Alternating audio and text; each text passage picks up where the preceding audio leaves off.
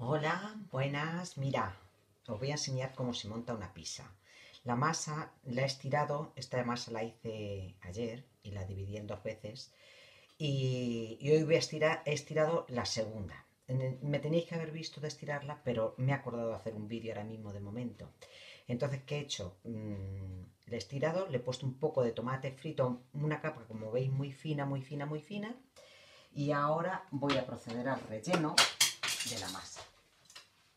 ¿Vale? Cada, esto, es, esto es a gusto, a gusto de cada uno. A mí me gusta mucho la verdurita, ¿vale?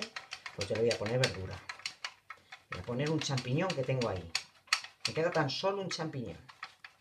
Entonces voy a poner el champiñón.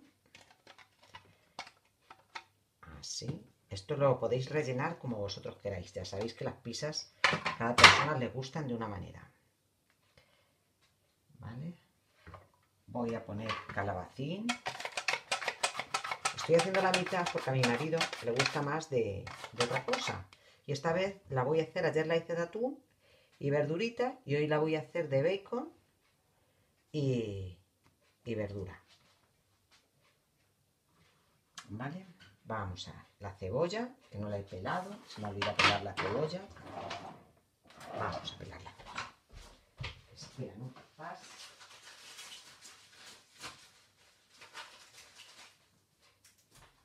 Vamos a pelar una cebolla aquí en un momentito. ¿Vale?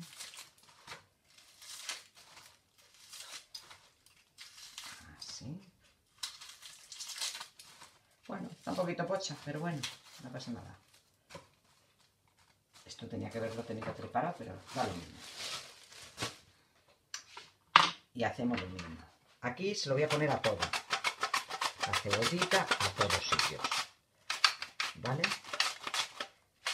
Porque nos gusta la cebolla asada, nos gusta bastante.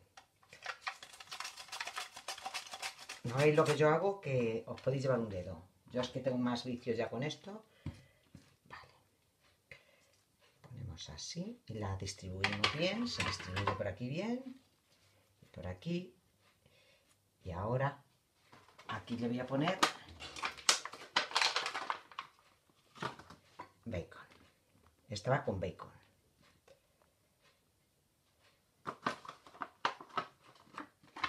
Le gusta con bacon, pues bacon. A mí me gusta así. Ahora voy a poner queso rallado. Eh, mirar cómo queda el queso rallado. lo está rallando.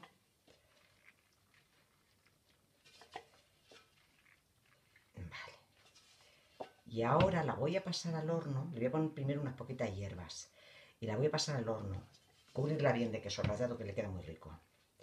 Y mm, importante, las, las pizzas hacerlas siempre en la posición más baja del horno, o sea, sin apoyar en bandeja, ni en rejilla, ni nada, sino apoyarla lo que es en la superficie baja del horno.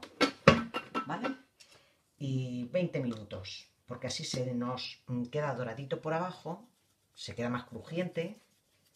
Le estoy poniendo un poquito de albahaca. Así, ah, un poquito de albahaca. Y una mezcla de estas de, de pizzas que hay. Que la tengo hace un montón de tiempo. Y ya está. Bueno, pues la voy a meter en el horno. Y ahora después os enseño el resultado. Así.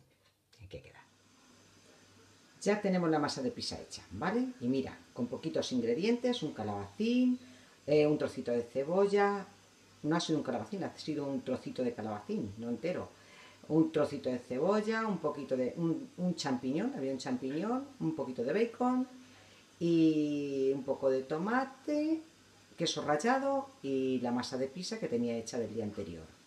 ¿Vale? Pues mira, solucionada la cena. Espero que os haya servido y que os guste y hacerla que está muy rica.